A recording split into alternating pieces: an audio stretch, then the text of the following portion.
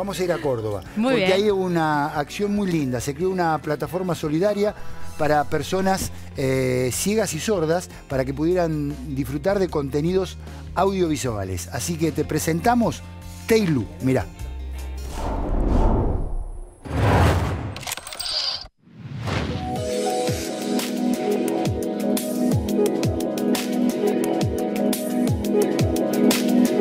Hola, soy Maximiliano Pinela, tengo 30 años, soy catamarqueño, pero vivo en Córdoba hace 12 años. Soy productor audiovisual, emprendedor social y fundador de Tailú. Tailú es una plataforma de distribución y exhibición de contenidos audiovisuales accesibles. Adaptamos películas con audiodescripción para personas ciegas y subtitulado y lengua de señas para personas sordas.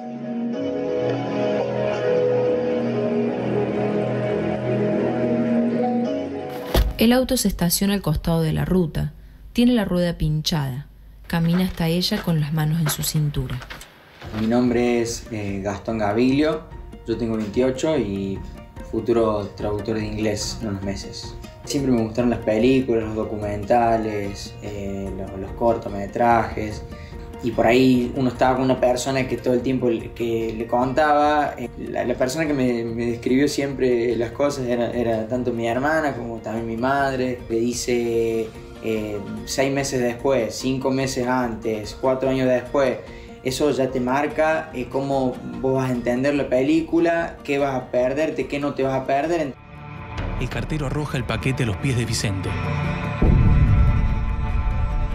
Te dije que no iba a recibir ningún paquete. Es hacer la película visible a personas que no, que no pueden ver. El auto está estacionado justo antes de un puente. Por debajo corre un río. Muy bien, ahí estaba presentada, vamos a conectar, vamos a hacer 700 kilómetros hasta la ciudad de Córdoba para conectar eh, con el fundador de esta plataforma, eh, Maximiliano Pinela. Hola Maxi, buenas tardes, bienvenido a Conectados. Muy buenas tardes chicos, muchísimas gracias. Hola Maxi, felicitaciones, eh, porque es, impresionante lo que han hecho. Eh, recién lo veíamos en las imágenes. Quisiera saber cómo se les ocurrió, cómo arrancó este proyecto. Bueno, tuvimos el primer contacto con, con este concepto de accesibilidad audiovisual cuando gran parte del equipo éramos estudiantes de cine en la Universidad Nacional de Córdoba, eh, comenzamos a trabajar en un proyecto de investigación y eso nos llevó a durante varios años empezar a adaptar películas porque era efectivamente la necesidad con la que se encontraban personas ciegas y sordas para poder acceder a estos contenidos de entretenimiento. Entonces, en 2016, eh, ya habiendo pasado varios años de adaptar películas, empezamos a, difundir en redes sociales lo que hacíamos y eso significó que mucha gente de, otras partes del país nos escribiera pidiendo poder acceder a esos contenidos accesibles. Y bueno, y en 2016 surge la idea de crear esta plataforma eh, que nos permita federalizar los contenidos accesibles, distribuirlos a lo largo y ancho del país para que muchas personas puedan disfrutarlo. Y bueno, fueron tres años de búsqueda de financiamiento, de adaptación de contenidos y en noviembre del año pasado finalmente ya lanzamos la plataforma y bueno, este año estamos teniendo una recepción y un feedback realmente súper lindo con, la comunidad y ya se está empezando a gestar ¿no? los, primeros, los primeros contactos y, la, primera experiencia alrededor de la plataforma. Claro, Maxi, digo, ¿y cuánta gente trabaja en el proyecto actualmente?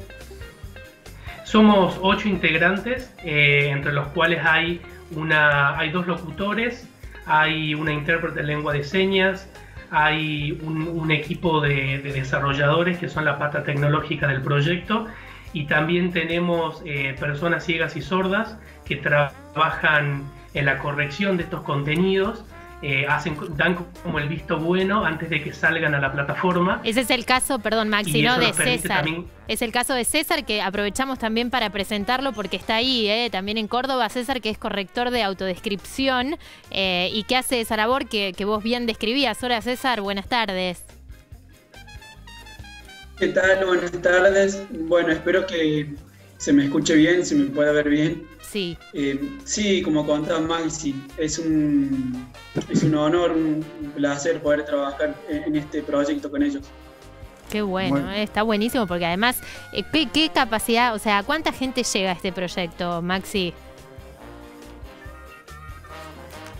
Mira, teníamos hasta marzo de este año cerca de 500 personas suscritas gratuitamente, hay que decirlo también, a la plataforma y lógicamente lo que la, cuarentena también implicó que, muchísima gente se volcara a, consumir contenido como lo hicimos todos y muchas personas ciegas y sordas encontraron en Tailú también un espacio de ocio, de entretenimiento y actualmente estamos llegando ya a la cerca de 13.000 personas suscriptas, lo que nos hace ver que, había realmente una necesidad y que por suerte está llegando a las personas que, queremos que lleguen. Claro, Maxi, ¿y cuáles fueron los, primeros, digo, buenos comentarios, los primeros mismos que recibieron justamente por esta necesidad y esta ausencia que vos planteabas de este tipo de plataformas para personas ciegas y sordas?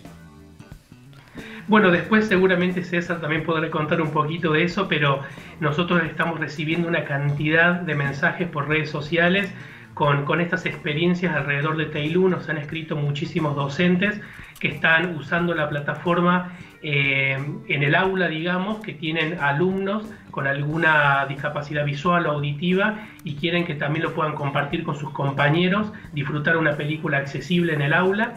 Y también nos han escrito muchísimas familias, muchísimas papás y mamás que en algunos casos por primera vez pueden estar disfrutando juntos una película, con, audiodescripción. Está buenísimo. Quiero aprovechar, Maxi, que lo tenemos ahí a César para preguntarle qué se siente, ¿no? Porque digo, era, era algo que no se podía hacer, que no podían disfrutar eh, y ahora se puede tranquilamente disfrutar una película con amigos, con la familia. ¿Qué sentiste, César, la primera vez que lo pudiste hacer? Sí, la verdad que, es, eh, que está muy bueno, está muy copado poder nada, compartir con, la familia, con amigos, eh, al mismo tiempo un producto audiovisual, ¿no? Como una peli, una, serie. El, poder estar eh, incluido realmente en el momento de ver algo y no tener la dependencia de que alguien te esté contando las imágenes. No sé. César. puede llegar a pasar. Digo, ¿y cuáles, son, cuáles son los detalles que tenés más en cuenta a la hora de hacer una corrección? Mira, em, lo más importante creo que son las partes más, eh, donde hay mucho silencio, donde, donde ocurre por lo general la mayor parte de la trama, ¿no? Que son las gestualidades, eh, las partes de acción, no sé, las miradas, cuando las personas corren, que por ahí eso no, no se ve tanto en, los diálogos y no se ve más que nada visualmente. Entonces, mm. también en la parte de la descripción de las personas físicamente. Claro, es que son todas cosas difíciles, difíciles de percibir, ¿no? Si, si uno no lo está viendo. Es, es, increíble cómo puede ayudar. Eh, Maxi, ya me imagino, patentaste la idea, la vendiste a todo el mundo, ¿o no? Mira, tenemos eh, por ahora solamente lo que es el registro de marca y la verdad que estamos eh, intentando allanar un camino en lo que es accesibilidad audiovisual. También hay una necesidad súper grande e igual eh, que en Argentina, en toda la región. Claro. Nos quieren, quieren el proyecto realmente en muchísimos países y estamos trabajando para que también pueda ser una solución, ¿no? Porque nos han escrito de México. no, y además es, es, útil también para toda eh, la gente de habla hispana, lo, pueden utilizar tranquilamente. La verdad, eh, felicitaciones a, Maxi, por supuesto, a César también. Eh, es una gran iniciativa, es, es muy inclusiva y permite a mucha gente disfrutar, ¿no? Cosas que, que por lo general nosotros no percibimos y bueno, y es tan necesario. Totalmente, totalmente de eso se trata, de incluir, mm. sobre todo en un fenómeno como es el audiovisual que hoy nos rodea e inunda todas nuestras pantallas y evidentemente, bueno, César y todas las personas ciegas y sordas no son ajenas a esto, así que eh, debemos incluirlas necesariamente.